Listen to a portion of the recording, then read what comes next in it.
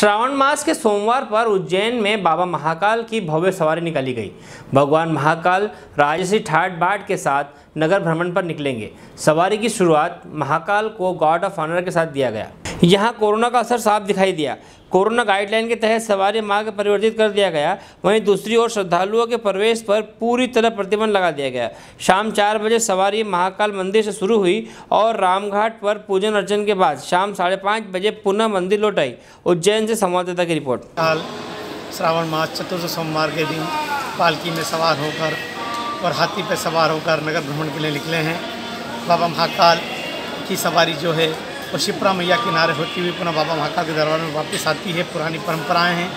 किंतु लॉकडाउन के कारण और कोरोना के कारण मार्ग छोटा किया गया है। किंतु जो परंपरा है, उसका निर्वाह हमारे द्वारा किया जा रहा है।